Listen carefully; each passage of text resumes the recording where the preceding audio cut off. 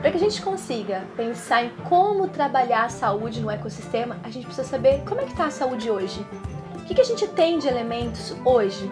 Da qual que é a condição do ecossistema, da biodiversidade, né, da fauna, dos diferentes elementos da fauna e da flora, como é que os, os ecossistemas estão em termos de estrutura, o que, que eles estão provendo em termos de serviços ecossistêmicos, como é que as pessoas usam esses recursos ecológicos, ecossistêmicos, né? Como que as pessoas se conectam nesse ecossistema. Então tudo isso é importante como um dado de base. Então a gente precisa mapear essa região, levantar o máximo de informações científicas já existentes e escolher alguns elementos que nos tragam indicadores de qual é a condição hoje e de como esse ecossistema está mudando ao longo do tempo.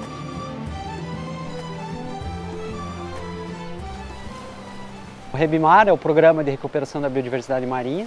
Ele se iniciou lá em 2009 com a instalação de recifes artificiais. Com os recifes a gente conseguiu delimitar uma porção do assoalho marinho contra essa pesca predatória, né? E aqui também houve uma separação do trabalho da pesca mais industrial para pesca artesanal. Além de monitorar esses ambientes recifais que a gente já vinha monitorando desde o princípio do Rebimar, a gente passou a atuar também no monitoramento dos manguezais, porque o Rebimar são vários projetos trabalhando em conjunto, né? Então, isso nos trouxe várias discussões. Como que a gente junta isso, né? Como que a gente vai entender toda o status de conservação da região olhando esses fragmentos que a gente trabalha como, como se fossem subprojetos.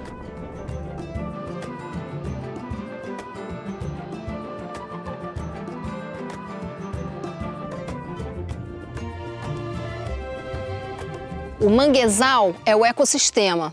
Tem planta, que é o mangue, tem a lama, tem o caranguejo, que faz os buracos na lama, tem o guará, que usa o manguezal para se alimentar, tem o homem que entra e é o catador de caranguejo ou é o pescador. Então, o ecossistema é o conjunto de plantas, de animais e de fatores que a gente chama de abióticos. É a chuva, é a maré que sobe e desce duas vezes ao dia, é o, o, o, a lama, o sedimento que pode estar mais lamoso. O ecossistema é o manguezal.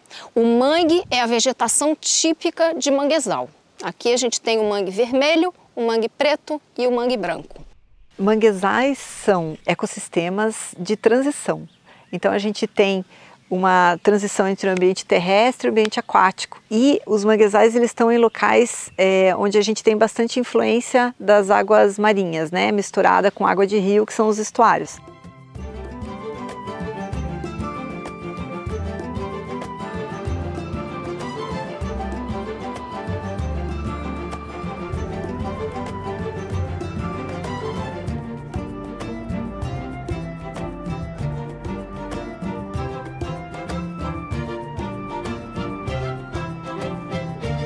A, a, ideia geral é fazer uma avaliação da saúde do manguezal, né, desses, dos manguezais que a gente está avaliando no projeto Rebimar.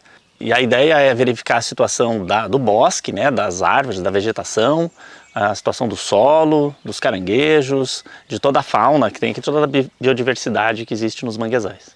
O foco né, do, do Rebimar é justamente a gente tentar fazer uma avaliar, avaliar essa conexão de, da grande reserva Mata Atlântica né? Por isso, então, a gente está procurando focar nesses locais mais preservados e para a gente poder ter uma noção né, eh, de como é que está, está esse estado né, de conservação desses manguezais.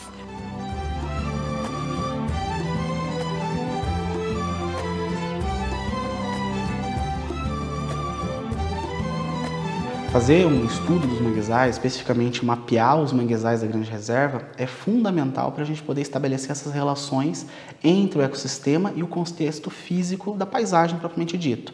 Qual é a relação da floresta de mangue com o sedimento, com o aporte de água doce, a temperatura da água. Ter um mapeamento como esse, numa escala de detalhe, facilita muito a gente poder estabelecer esses padrões. E isso ajuda muito a conservação, o planejamento e até mesmo a restauração.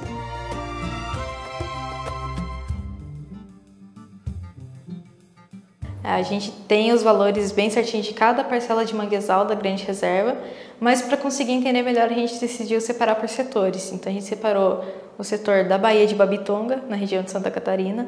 A gente tem também os manguezais da região da Baía de Guaratuba, da região do Complexo Histórico de Paranaguá e da região de Canané e Guape. E aí quando a gente parou para comparar esses valores, né? A Baía de Babitonga ela tem um valor que é muito diferente dos outros, negativamente, infelizmente. Então, para a região do Paranaguá, de, de, do Paraná e de São Paulo, né, os valores são próximos, né? Tem ali uma diferença entre um e o outro, mas de Babitonga ali já é um valor mais significativo, né? Então a gente já parte do pressuposto de que os manguezais de lá, né, podem estar tá com uma degradação maior, né? Pelo menos levando em consideração esse quesito do, do vigor da vegetação comparado com os outros, né? Mas ao final do, do, desses processamentos a gente constatou que os valores é, do setor norte, né, em Guaraqueçaba, é, estavam abaixo dos do setor, do setor sul.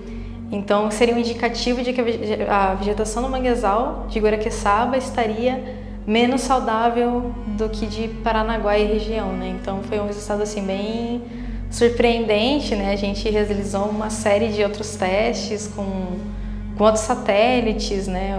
Enfim, a gente trocou alguns métodos, né? Esse resultado seguiu. Então aí por imagem de satélite a gente já conseguiu mapear toda o que existe de manguezal ao longo da grande reserva Mata Atlântica. Né? Então aí a gente cobriu todo esse, esse manguezal que existe, é, em torno de 48 mil hectares de manguezais presentes aqui na grande reserva Mata Atlântica.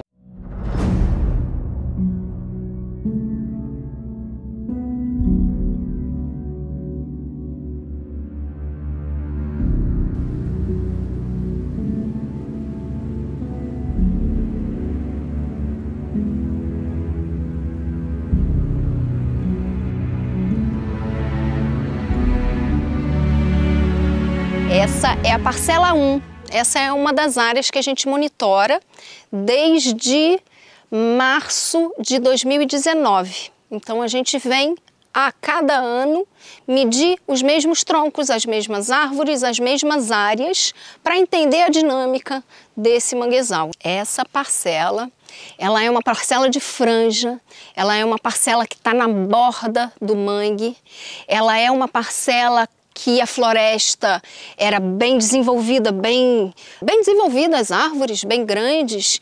E em junho de 2019, um evento extremo ocorreu nessa região. Um evento extremo pode ser um vento fortíssimo, que sai derrubando tudo que encontra na, na frente, podem ser muitos raios, podem ser chuvas de granizo. Esses eventos extremos têm acontecido cada vez mais de forma mais forte e mais frequente. O manguezal ele é ótimo para nos proteger dos eventos extremos, porque no momento em que passa um vento muito forte derrubando árvores de mangue, ela já está servindo de barreira para proteger as casas que estão lá atrás. Então, em região que tem floresta de mangue, são regiões protegidas desses eventos extremos. A planta do mangue, ela é uma excelente aliada às mudanças climáticas, sequestra 50 vezes mais gás carbônico da atmosfera do que uma planta de floresta tropical de modo geral. Por que, que a gente fala sequestra o carbono? Sequestra porque ela está retirando o CO2 da atmosfera e armazena com ela. Existe armazenamento de gás carbônico na lama também. Esse conjunto de planta com lama armazena cinco vezes mais gás carbônico do que outras florestas conservar esses ecossistemas é nos proteger, é ter um aliado contra as mudanças climáticas globais.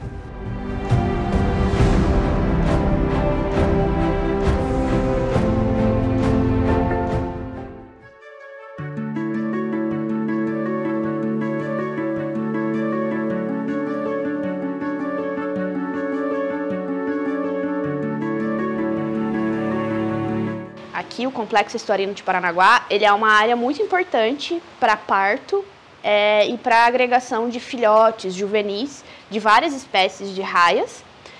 E a gente tem espécies que elas são endêmicas aqui da região sul.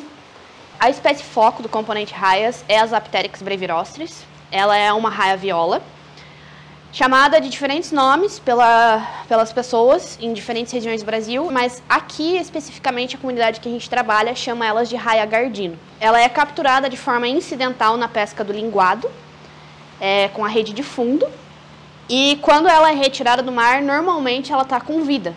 Assim que os pescadores chegam no desembarque, a gente vai até eles e aí a gente começa a separar as raias. É, nesse momento a gente precisa escolher as raias que estão bem. E a ideia aqui do monitoramento dessas raias é justamente a gente entender como é que funciona essa recuperação dessas raias após a captura. Que chegando aqui, o que, que a gente faz? A gente retira sangue dessas raias, a gente pesa, a gente mede. E essa retirada de sangue, ele tem um intuito da gente saber como é que está a saúde desse animal, como é que está o metabolismo dele depois de passar por esse momento de estresse que é a captura. Então, essa estrutura, a gente tem tanques é, com todo, tudo necessário para a manutenção de peixes e, no caso agora, raias. É, é para a gente ver a capacidade de recuperação dessa raia ao longo do tempo após a captura. Então, os animais são colocados aqui, eles se recuperam e a gente devolve eles para o mar e por trás disso a gente faz todo um estudo é, fisiológico, comportamental e também das taxas de mortalidade para a gente entender se essa é uma metodologia eficaz ou não.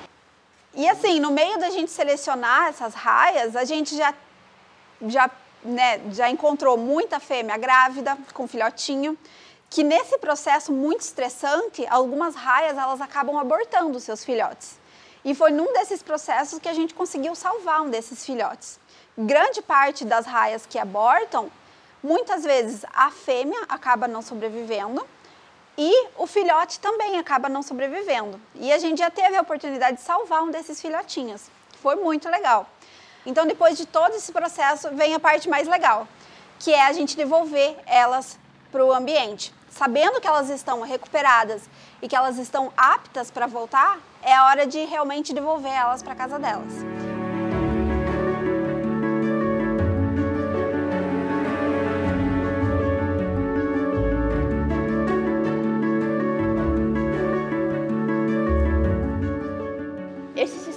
Monitoramento e recuperação dessas raias previamente à devolução delas ao mar é um, uma metodologia inédita é, e a gente comprovou aqui, cientificamente, de que sim, se você colocar os animais na condição correta, menos, mesmo os animais com maior nível de injúria, com maior nível de machucado, com maior nível de estresse, eles se recuperam muito bem.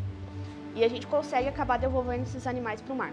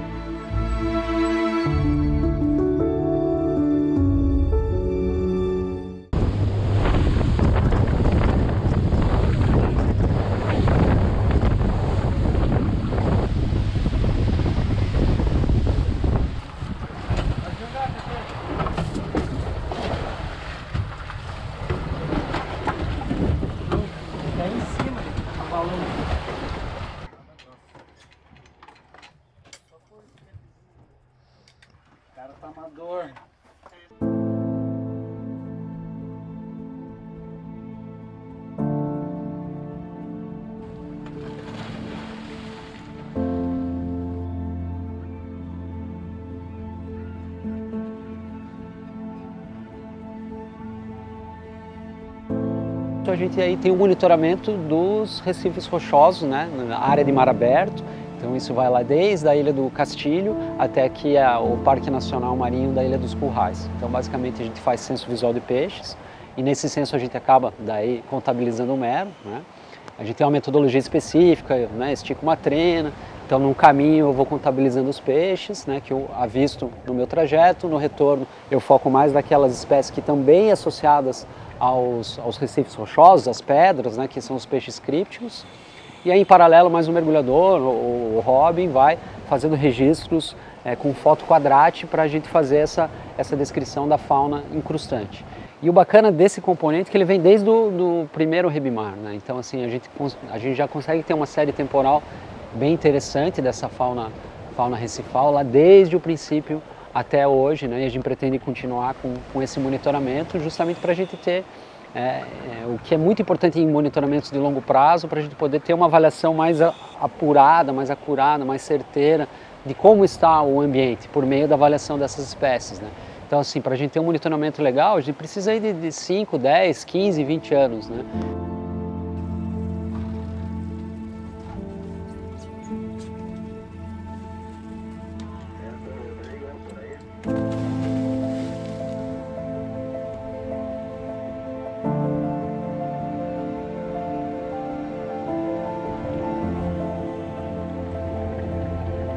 O Mar do Paraná, às vezes, muitas vezes, tem a visibilidade mais restrita.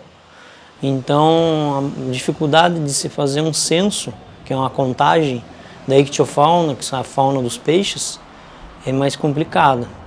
Então, com esse equipamento, vem para auxiliar a, a, o nível de qualidade das nossas pesquisas. Rebreather é um equipamento de mergulho é diferente da unidade Scuba, onde o ar que você exala, que é o gás carbônico, o CO2, ele volta para dentro da, da máquina, é filtrado e volta a ser um ar respirável normalmente. Então ele recicla o ar exalado. Isso com, faz com que esse equipamento não emita bolha e nem som. É um equipamento silencioso. Bom, a gente espera com esse equipamento né, de alta performance, um mergulho com rebreather, é, avistar uma quantidade maior de ictiofauna é, e inclusive do mero, que é a nossa espécie alvo né, do, do projeto Rebimar. É, a gente conseguir chegar mais perto dele e estudar o comportamento dele. Então, essa ferramenta traz esses benefícios e a gente espera que ele traga excelentes resultados.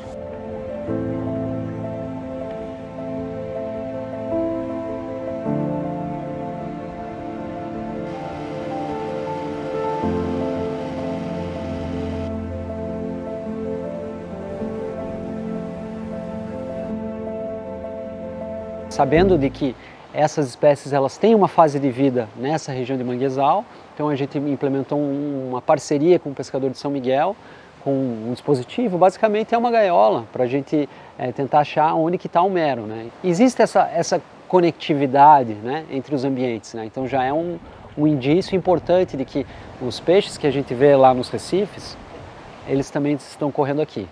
E paralelamente a isso, a gente também tem um trabalho com, com armadilhas luminosas, né? Então focado daí nas larvas, daí não é no juvenil, daí é nas larvas, né? Para a gente tentar detectar onde que essas larvas dessas espécies com importância para a conservação elas estão aqui na região, né? Então esse é um trabalho que a gente faz da fauna recifal.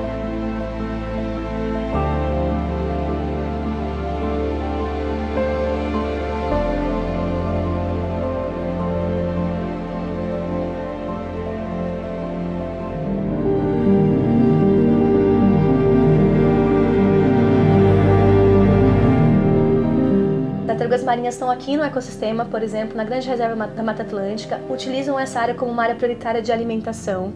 Aqui a gente tem tartarugas que vêm do mundo inteiro, né, do Atlântico todo. Não vou falar do mundo inteiro, mas do Oceano Atlântico inteiro. E se reúnem aqui, no litoral do Paraná, por exemplo, para se alimentar. A tartaruga verde é a espécie mais comum da nossa da costa do Paraná. Então nós estamos monitorando uma, uma região que a gente já conhece de agregação dessa espécie. Nós estamos na, Ilha das Cobras, que é uma ilha localizada na região central do estuário de Paranaguá, e ela foi decretada um parque estadual.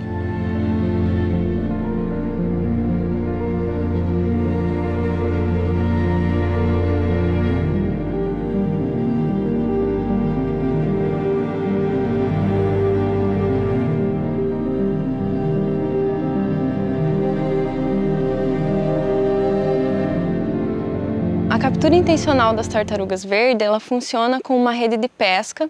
Então é um método que a gente é, utiliza desde 2014 para capturar as tartarugas. A gente faz um arrasto de praia, ou um ponto fixo com a rede de pesca e os animais emalhados são retirados com todo cuidado e levados para uma embarcação onde a gente faz toda a avaliação de saúde dessas tartarugas. Então nós conseguimos observar se existem doenças, se elas estão com estresse, como é que está o estado geral de saúde das tartarugas.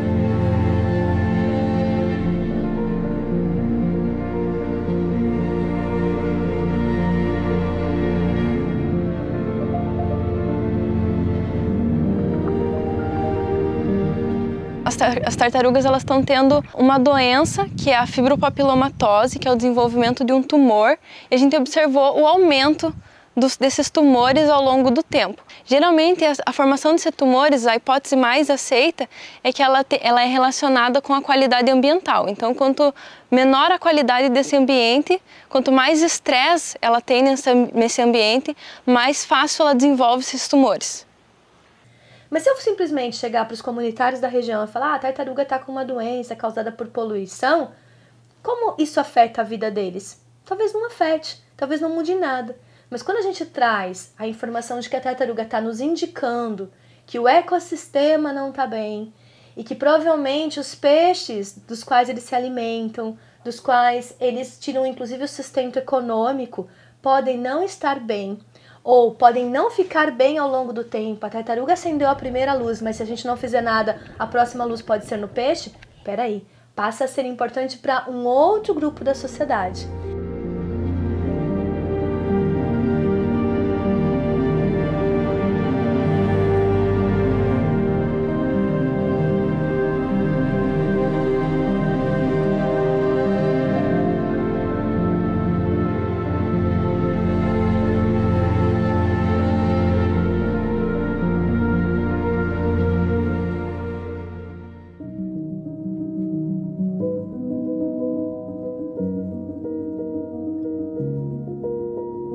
Microplástico ele surge como um novo contaminante, um novo poluente no, no meio marinho, é, que traz um problema muito sério, não só para as espécies marinhas, para os ambientes marinhos, mas também é, traz riscos é, significativos para a humanidade. Então, quando a gente percebe o, o surgimento de um novo contaminante ou do novo poluente, é muito importante que a gente consiga entender a extensão desse problema. O microplástico e, e a contaminação por plástico, por lixo no mar, ela, essa contaminação ela não conhece fronteiras. As fronteiras que a gente conhece geopolíticas, elas são criadas pela gente. Então, se você for ver, a gente tem um grande oceano, né, todo conectado. Então, a, os estuários eles são as portas de entrada. Então, a escolha do complexo estuarino é principalmente pelo fato dele ser um ambiente perfeito para a gente conseguir fazer um estudo pensando no gradiente entre uma área muito próxima das desembocaduras, onde a gente tem uma cidade portuária né, muito importante no meio desse processo todo, desse gradiente, até as regiões ali de desembocadura desses complexos em que a gente tem um encontro com o oceano.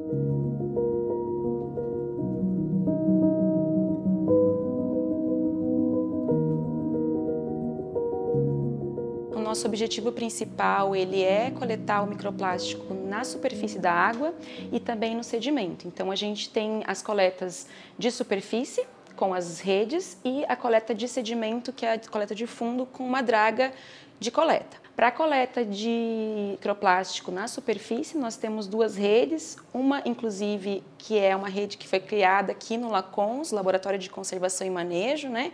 É, e ela é uma rede que tem um custo muito mais baixo que a rede é, importada que a gente utiliza, né? Uh, o nome da rede é Noiva, Novo Objeto de Investigação Ambiental. Ah, deu certo, caramba! Ai, que massa, galera! Ah, essa daí deu boa. E nós temos sete pontos dentro do complexo estuarino de Paranaguá, ou seja, nós estamos englobando todo o complexo estuarino e em cada ponto nós realizamos seis arrastos. Cada setor né, é dividido em duas áreas, cada área tem dois arrastos, mas cada setor totaliza sete, seis arrastos em cada setor.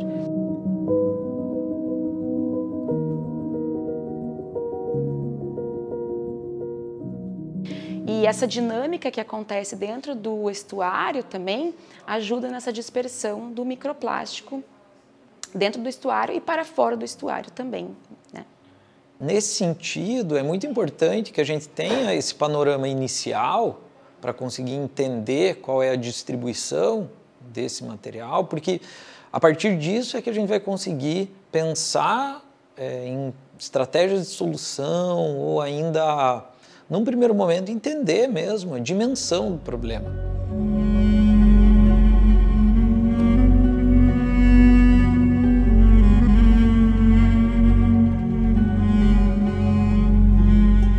Então nós temos sim microplástico em todos os setores do nosso complexo estuarino. Os microplásticos estão presentes, inclusive nas áreas de unidade de conservação.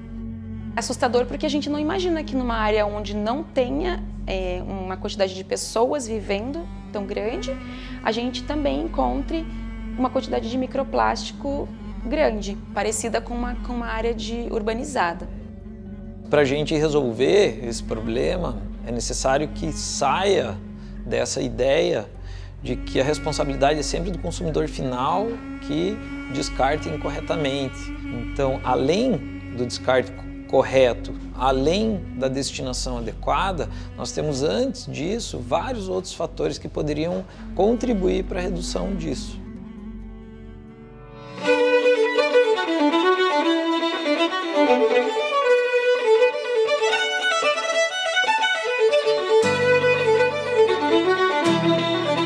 As ações de educação ambiental do Rebimar elas são divididas entre a criação de materiais, materiais didáticos, então a gente produz, é, traduz o conhecimento científico de uma forma acessível para a população compreender através de, de materiais didáticos, de palestras educacionais, de ações com, com diversos públicos, pescadores, é, público acadêmico, público escolar e entre elas a criação do aplicativo.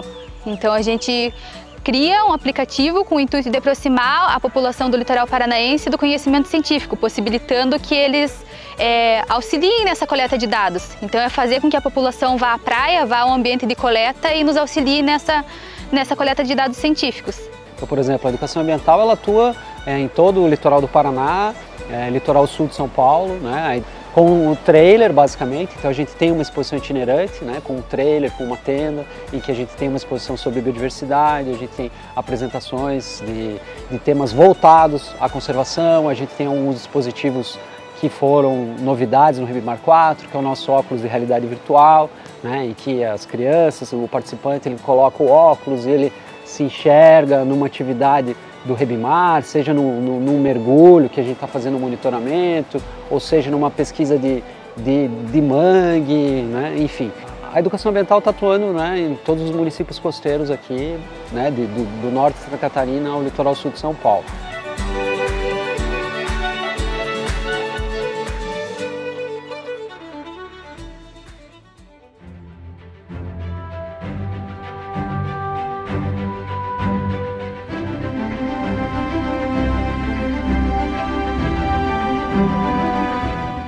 Saúde única é exatamente uma saúde que contemple o nosso bem-estar como ser humano, os serviços que o ecossistema provê para nós mesmos, para nossa sobrevivência, como oxigênio, como alimento, mas também garantir uma boa condição de saúde à biodiversidade, à fauna e à flora, além do homem, mas garantir esse bem-estar para todos os organismos da fauna e da flora e garantir esse bem-estar para o planeta como um todo, para todas as suas relações que inclusive envolvem parâmetros que não são biológicos, parâmetros não vivos. Então a gente definiu claramente com todos os componentes do Rebimar quais são esses indicadores que vão nos dar pistas de como está a saúde da, da grande reserva por meio da avaliação né, ah, do, da tartaruga, avaliação do mero, avaliação das raias. E a gente agora a ideia é entender isso ao longo do tempo. E é muito importante que aqui, nesse espaço, nós consigamos realmente integrar os atores né, e fazermos de alguma um, um processo, um movimento conjunto com esse olhar em saúde. A saúde é o que nos une. A saúde ela é única para todos nós. Ou seja, se nós tivermos pessoas bem, pessoas saudáveis, pessoas felizes, nós vamos ter fauna bem, fauna saudável, fauna feliz e a gente vai ter um ecossistema que vai dar suporte para tudo isso, não só para nossa geração, mas para as próximas gerações.